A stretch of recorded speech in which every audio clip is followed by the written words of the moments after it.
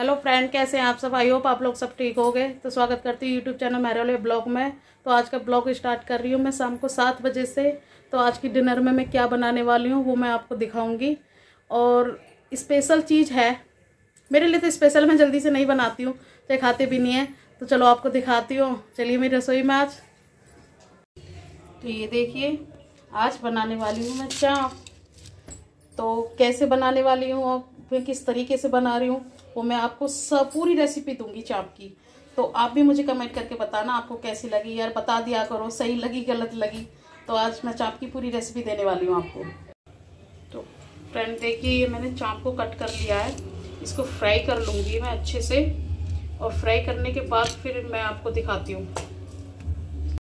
ये देखिए चाप इधर फ्राई हो रही है। और फ्राई करने के बाद इसमें मसाले मिक्स करूँ। फ्रेंड, ये देखिए, मैंने चाप को फ्राई कर लिया है। और इधर ये दही, मैंने ये आधी कटोरी दही ली है, इसको फैट लिया है। और ये दो प्याज हैं, थोड़ी अदरक, लहसुन, और ये हरी मिर्च लिए हैं, पाँच हरी मिर्च। और ये दो टमाटर हैं। छोटे टमाटर थे, उनको मैंने कट कर लिया है। तो मैं मसाला बनाती हूँ। इधर मैंने कढ़ाई रख दी है, और कढ़ाई के अंदर तेल मैंने थोड़ा ही डाला है। क्योंकि मसालों को भी मुझे फ्राई करना है। और ये देखिए, ये मसाला, गरम मसाला। ये थोड़ा मैंने ये ले लिया है, चार से पाँच लौंग है। और साबुत काली मिर्ची और जीरा, ये हैं। तो तीन दालचीनी तो अभी मैं इसको डाल के फ्राई कर लेती हूँ। इधर ये मेरा तेल गरम हो गया है तो इसमें साबुत मसाला डाल देंगे। इसको थोड़ा भून लेते हैं।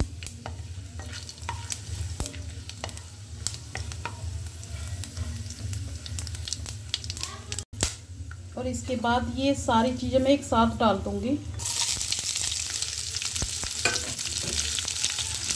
प्याज, लहसुन, अदरक, हरी मिर्ची क्योंकि मुझको थोड़ा ही फ्राई करना है। उसके बाद कुछ सेकंड के बाद मैं इसमें टमाटर डालूँगी। तो ये कुछ काजू के टुकड़े हैं, ये भी मैं इसी के अंदर डाल दूँगी। इससे मसाला बहुत अच्छा बनता है टेस्ट भी अच्छा ही आता है। और ये टमाटर, इस टाइम पर मैं टमाटर भी डाल दूँगी। तो एक मिनट के लिए इनको सारी चीज़ को भून लेते हैं। सॉफ्ट होने तक, ऐसा नहीं कि मैं काफ़ी इनको ब्राउन करूँगी, कुछ नहीं। सिर्फ़ सॉफ्ट होने तक टमाटर मैं निकाल लूँगी सारा मसाला। देखो, सारा मसाला अच्छे से गया सॉफ्ट हो गए टमाटर। ये इसको मैं निकाल लूँगी सारा मसाला।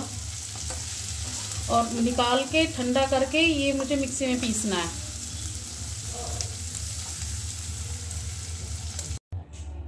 तो फ्रेंड ये देखिए, मैंने सारी चाप एक बाउल में डाल दी है। इसके अंदर मैं तीन से चार चम्मच दही डालूँगी। क्योंकि इसमें मेरे को मसाले भी डालने हैं और अच्छे से मिक्स हो जाए। ये मैं हल्का नमक डाल दूँगी। गरम मसाला। थोड़ी सी हल्दी। आधा चम्मच लाल मिर्च पाउडर। एक चम्मच धनिया पाउडर। मैं मसाले मैंने इसमें कम ही डाले हैं। अब इसको कर दूँगी मिक्स, क्योंकि हर कोई ऐसे नहीं बनाता है। मैं इसमें मसाले लगा के रखूँगी, सॉफ्ट हो जाएगा दही से। फिर इसकी ग्रेवी के अंदर मैं डालूँगी चाप की। तो इसको मिक्स कर देती हूँ। ये सारा मसाला ठंडा हो गया है। ये जार के अंदर मैं डाल दूँगी। उसके बाद ये पीसना है मेरे को। ये मिक्सी में पीस देती हूँ मैं इसको। ये देखो, मसाला अच्छे से रेडी हो गया है और बहुत अच्छा बना। मसाले में से अच्छी खुशबू आ रही है। तो ये मेरा तेल गरम हो गया, इसमें मसाला डाल देती हूँ। उसी कढ़ाई में मैंने तेल डाल दिया था। अब इसमें कोई भी मेरे को साबुत मसाला डालने की ज़रूरत नहीं है, क्योंकि मैंने पीस दिया है। इसको भून लेती हूँ। ये मसाला मेरा भून चुका है, क्योंकि ज़्यादा भुना नहीं है। पहले भी मैंने रेडी कर दिया था, भून के पीसा हुआ है। तो अभी मैं मसाले डाल दूँगी इसमें। ज़्यादा मसाले नहीं डालूँगी, क्योंकि पहले मैं चाप में डाल चुकी हूँ। आधा चम्मच ये गरम मसाला और आधी चम्मच ही मैं लाल मिर्च पाउडर डाला है। ये एक चम्मच नमक डालूँगी। थोड़ी हल्दी और एक चम्मच धनिया पाउडर। धनिया पाउडर थोड़ा ज़्यादा डालेगा क्योंकि उसमें भी डाला हुआ है मैंने। तो इसके बाद इसमें थोड़ा पानी डाल के इसको थोड़ा भून लेंगे। उसके बाद मैं इसमें दही डालूँगी। तो देखिए फ्रेंड मसाला कितना अच्छा बना है। तेल भी छोड़ दिया है और अच्छे से भून चुका है। अब इसमें मैं दही डाल दूँगी। क्योंकि इसके अंदर मैंने काजू भी डाले थे। तो इसलिए मैं ज़्यादा नहीं डाल रही हूँ। देखो कितना सुंदर कलर आ रहा है इसका। और बहुत अच्छी बन रही है। तो मसाला मेरा रेडी है। इसके बाद डालूँगी इसमें मैं चाट मसाला। ये ऑप्शनल होता है, मिल जाता है मार्केट में। इससे और भी अच्छा टेस्ट आएगा। तो ये करीब मैंने एक चम्मच डाल दिया है। और इसके बाद डाल दूँगी अब इसमें चाप ये मैंने पहले से मसाला लगा के रखा हुआ था। अब इसको चला दूँगी मैं। और उसके बाद थोड़ा सा पानी डाल के हमारी सब्ज़ी रेडी तो फ्रेंड देखिए, ये मेरी चाप बन के रेडी है कितनी अच्छी बनी है। पहले मैं इसमें धनिया डालूँगी। ये देखिए। उसके बाद मैं खाऊँगी। और बहुत अच्छी बनी आपने देखा होगा आप लोग कैसे बनाते हो। मुझे ज़रूर बताना, मैं तो ऐसे ही बनाती हूँ। और बहुत अच्छी बनी है। ये देखो, कलर कितना अच्छा आया। तेल भी छोड़ दिया है। तो बन के रेडी है। आप लोग भी देख रहे होगे।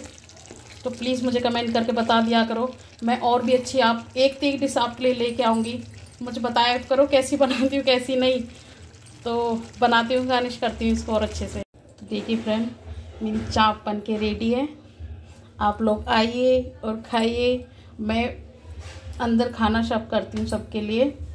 तो उसके बाद आप लोगों से मिलती हूँ। तो फ्रेंड आप लोगों को मेरी चाप की रेसिपी कैसी लगी? प्लीज़ मुझे ज़रूर बताना। इतने मेहनत से, इतने प्यार से आप लोगों के लिए बनाती हूँ मैं और अच्छी से अच्छी रेसिपी लेके आती हूँ। तो मेरे चैनल को प्लीज़ सब्सक्राइब ज़रूर करना और वीडियो को शेयर ज़रूर करना। तो यूँ ही मेरे चैनल पर बने रहना। मैं आप लोगों के लिए नेक्स्ट वीडियो में ज़रूर अच्छे से अच्छी वीडियो लेके आऊँगी और वो भी खाने से रिलेटिव घर से कुछ भी काम हो, वो मैं सब कुछ आप लोगों को दिखाऊँगी। तो अभी मिलते हैं नेक्स्ट वीडियो में। प्लीज़ लाइक ज़रूर कर देना। तो अभी के लिए बाय गुड नाइट